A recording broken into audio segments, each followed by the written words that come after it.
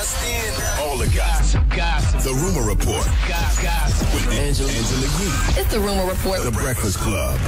Well, Rich Homie Quan is under some fire. Now, apparently, a song called I Made It with him and Young Thug that was never intended to be released was leaked. And there's some rapey lyrics. Whoa. Whoa. Yeah, that's pretty rapey. that, He Wow. said, Don't want your hoe, just want that cookie from her. She tried to resist, so I took it from her. Yeah, that's definitely. How a you going to lyric. tell me no? You must not know who I am. His name is Rape Homie Quan. They, they were calling him Rape Homie Quan on Twitter yesterday. I tell you one thing, though. Whenever he do that dumbass dance if he be doing, I be thinking he trying to rape himself. Well, he did make a statement. He told Billboard, I made it was never intended to be released. That song was not lyrically what I wanted to say and was not completed. Without my knowledge, there was a studio leak of the recording. I apologize that it's out and I have asked my lawyers to pursue a, a cease and desist on the song immediately. To be clear, I would never condone rape. Nah, it's already out there now, buddy.